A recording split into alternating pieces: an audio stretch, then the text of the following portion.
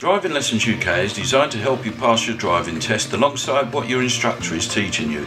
It's divided into over 20 modules covering each aspect of driving lesson courses. The app will act as a memory aid and also a revision tool for when you take your test.